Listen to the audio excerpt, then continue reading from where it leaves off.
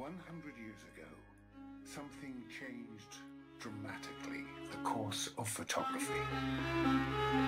The first Leica was born. Of course, you could say, hey, some of these photos weren't taken with a Leica at all, but I must gently disagree with you. Leica took the camera out of the studio and placed it into real life. Image à la sauvette. Snapshots. We were able to see, to feel, to smell thousands of moments.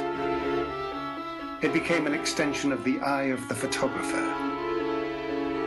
Joy, pain, ordinary things, fear, losers, winners, misery. War from inside. One image contaminating the others. Metastasis. The most iconic images in history, even the ones that weren't taken with a Leica, were taken because of a Leica.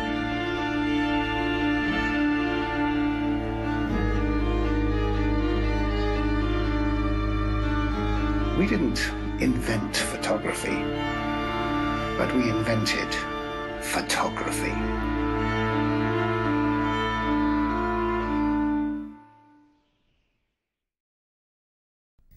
As a boy, I looked at my father's Leica like a sacred object. My heart was beating fast when I was allowed to use it for the first time. I have trained my eyes with this precious instrument, and my hands have learned to be at the service of focus, aperture, and exposure. I, hand and heart together, have acquired a seventh sense how to lift the camera in a fraction of a second, look through it, and already release the shutter without even thinking for the shortest moment about the framing. Holding the new digital M today, nothing feels different. The same precise focus, the same intuitive light measuring, the wonderfully smooth click of the shutter, and exactly the same relation between what you just saw outside and the inner image that precedes each photograph.